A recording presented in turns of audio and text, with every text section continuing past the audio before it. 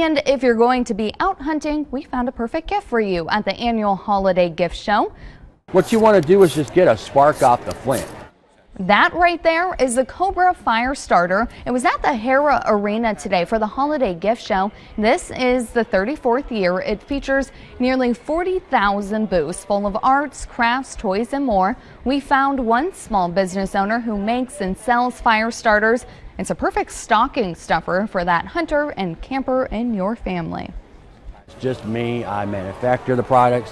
I make everything out of my garage back in Texas.